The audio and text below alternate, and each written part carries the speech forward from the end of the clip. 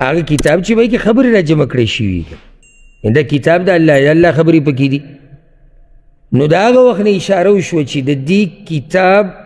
د دې خبرو انجام دا دی چې دا به په یو کتابي شکل کې په یو کتاب کې به را جمع کړی شي ذکر دلته الله وایي ذلک الکتاب الکتاب کې د الف لام میم د الف لام دې دپاره دی چې د کامل پوره عظیم الشان کتاب دی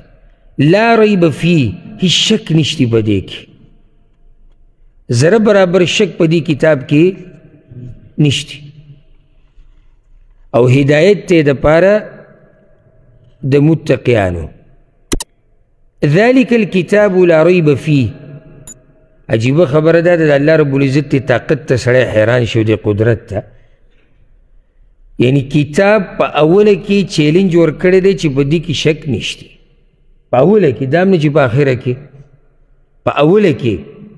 او دا خبره صرف الله رب العزت کولی شي بل څوک یې نشي کولی یعنی دومره مضبوطه خبره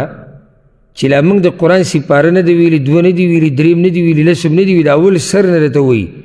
وی را رواني چې څومره خبرې دي د قرآن د ختمېدو پورې په دې کې زره برابر شک نشته معنی دا چیلنج دی پکې که څوک پکې څه راویستی شي راودې باسي که نه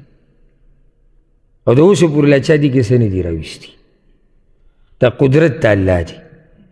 او طاقت د الله دی او ستاسو څه خیال دی چې لکه د دین د دشمنان د هغه وخت نه اوسه پورې اوده پراته دي چا څه کوشش نه دی کړی کړی دی او لګیا دي خو چیلنج دی ذلک الکتاب لا ریب فی هیڅ شک دی کې نشته ځکه چې دې کې څوک داسې خبره راوړستې نه شي چې هغه ستا شک پیدا کړي ها اوس که څوک دا وایي چې خلکو خو پکې شک کړی دی هغه د هغه خلکو بیماري ده هغه نقصان په د کتاب نه ده خو د سړي کې نقصان دی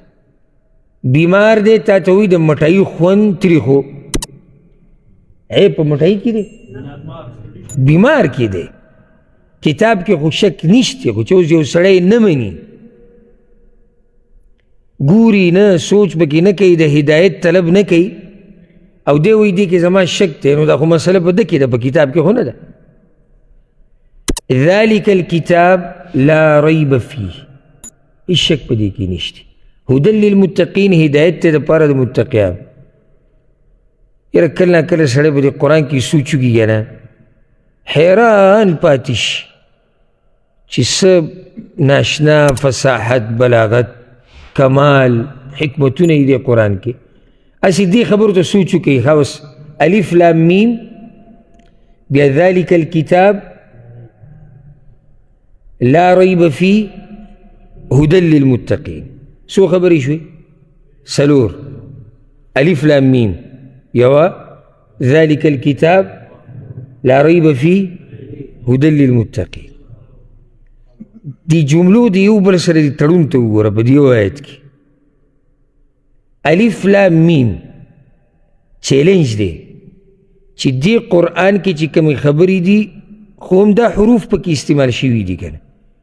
نو که تاسو د دې په شان خبرې راوړی شي جوره وړی که نه چا قبول کړی چا سرته رسولی نشي رسولی نو چې نشي رسولی نو ذلک الکتاب دا بیا پوره کامل کتاب دی او چې کامل دی نو لا ریب فی بیا پکې شک نشتی او چې کامل هم دی او شک پکې هم نشتی نو بیا حتما دا هدایت دی د متقیانو لپاره چې معمولي سوچ سړی په قرآن کې وکړي که نه نو الله رب العزت ناشنا علم د تناسب کوي هدل للمتقین هدایت ته د پاره د متقیانو یاد کړئ دا خبره قرآن د هدایت سرچینه ده ما په اولنی درس کې تاسو دا خبره ذکر کړې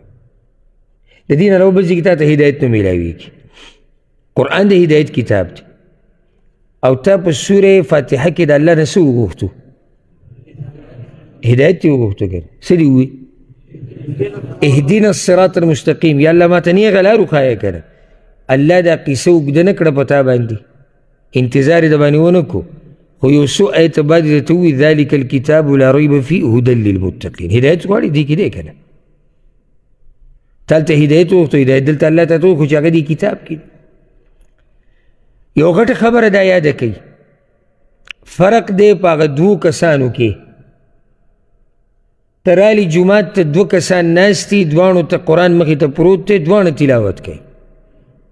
فرق دی په دې دواړو کې وجه دا ده چې دا یو مقصد د ده دا دی چې د قرآن اخري سر ته ورسي چې څومره ډېر ټکي ووایي دا د مقصد دی هغه بل د هر آیت سره ودریږي پای کې سوچ کوي پای کې فکر کوي کله سره په جړا شي کله تعجب وکړي کله خوشاله شي کله پې غونه زیږ شي کله سرمن پسته شي کله پکې د الله نه سوال شروع کړي څه به کله دواړه یو شان دي یاره چې دې دواړو ته یو شان وایي نو زم چې دا به د عقل د ماشومانو د عقل نه ملاندې کم دی هدایت دی کې د چا د پاره دی د اولنی د پاره ای دویم د پاره هدایت کې قران کې غواړي کنه نو بیا به مقصد به دا نه چې ما زر زر ختم کړل دا بعض د مسلمان د روجي د مسلمانان چې صرف قرآن به راغستی پروجیکت او دا کلار به جوړ او دا ما ختم کو درې پیری سلو یو بل سړی دی په پوره رمضان کې یو پیر ختم کو څنګه وایي زه خو ترجمه هم ګورم زه تفسیر هم ګورم زه د قرآن سره ژوند تیروم دا سړی غوره دا کنه ما ګوره دا نه دي ویلي چې په تلاوت اجر نه میلاویږي په خبره به ځان پوه کوئ خو مقصد اصل د قرآن د نزول هغه دا دی چې موږ په ځان پوه کړو صرف تلاوت نه دی نو قرآن خو هدایت دی خو هدایت د دې خلکو لپاره دی ځکه چې هلته دوی ځان پوه کړو ښه ډېر خلک د قرآن وایي او ګمراه دي کنه نشتی ها ډیر شي وجداري چې هغوی چرته ورځ د دې قرآن سره ودرېدلي نه دي سوچ یې نه دی کړی فکر یې نه دی کړی نو دا یو خبره یاده کړئ بله دا مسله یاده کړئ ګوره انسانان چې څومره هم کتابونه لیکي او د دې چینې نه پکې خبره وانه غسته چینې زه قرآن یادوم نو پوه شي چې هغه کتاب کې به شک کي ولې به پکې شک کي نه د انسان دي څه ټول د انسانانو خبرې دي د قرآن نه څه وانه غستو هر هغه کتاب چې هغې کې د قرآن دا خبرې نه وي او چې کله زه قرآن ووایم ما مخکې وضاحت وکړو دې کې حدیثونه راغلي ځکه قرآن موږ ته حدیثونه د منلو وایي چې څوک راولګي کتاب ولیکي او د قرآن نه لري او د حدیثونو نه لري په دې کې به شکونه نه شک نه شکونه